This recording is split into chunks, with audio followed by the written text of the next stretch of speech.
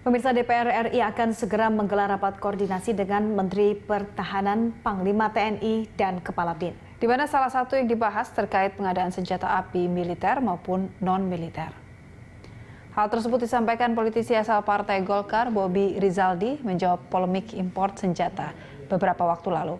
Nantinya rapat tersebut akan merumuskan beberapa hal agar mencegah timbulnya komunikasi dan pemahaman yang salah terkait pengadaan senjata.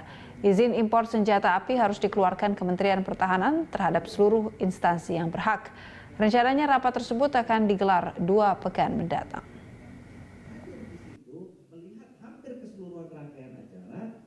Rencananya kita uh, kalau jadi minggu depan ini akan melakukan rakar bersama uh, dua minggu lagi kalau salah Pang, Panglima, uh, Menhan dan juga Kepala Bin untuk memastikan bahwa apakah ada peredaran senpi militer uh, kombatan di luar institusi uh, TNI.